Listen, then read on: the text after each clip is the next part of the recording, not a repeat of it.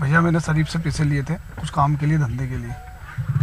जो पैसे मैं उसको टाइम पे नहीं दे पाता था, वो बीस पच्चीस परसेंट, तीस परसेंट का ब्याज लेता था। जितने दिन मेरी औकात थी, मैं देता रहा चुपचाप चुपचाप घर वालों से छुपा छुपा के।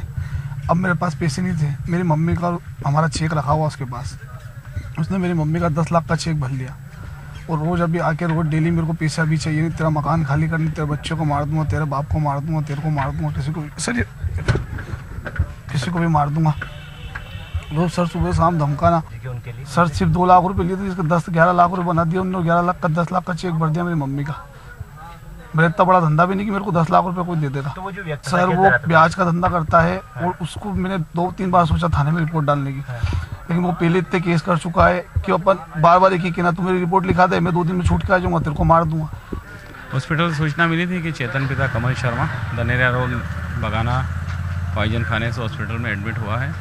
हॉस्पिटल में आकर डॉक्टर साहब से चर्चा करके कथन स्थिति में है, उसका बयान लिया डॉक्टर साहब से डी करवाई है।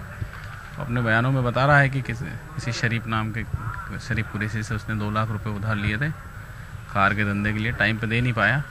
तो उस बात को लेके बोले, मेरे ऊपर उसका प्रेशर था, इसलिए मैंने सल्पास खा ली। है वो सल्पास की डिब्बी और वो भी यहाँ ले आया है। बट अंडर ट्रीटमेंट है कार्रवाई की जा रही है।